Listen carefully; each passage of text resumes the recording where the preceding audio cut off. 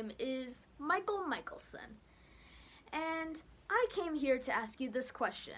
Now, has this ever happened to you? I just can't get this smudge off of this plate, and I don't know what to use. Well, look no further, because here at the office we have a product coming to you soon that can get that nasty smudge off of that darn plate. Wait, there is? What is it? Oh, whoa, whoa, whoa. Settle down, son. The name of the product we're making is known as. Line. Whoa, whoa. Settle down there, son.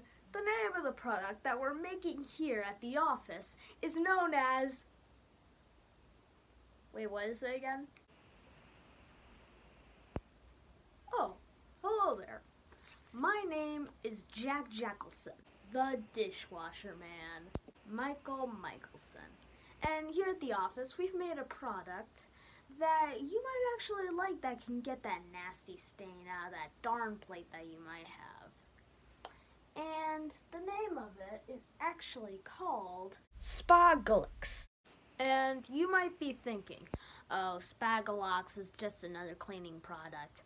But that's where you're wrong, because Spagalox turns bleh to ah.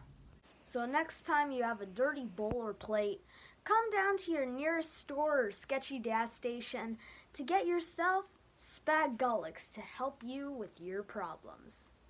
Yes, finally, I got it right. And, wait, were we still recording? Son of a...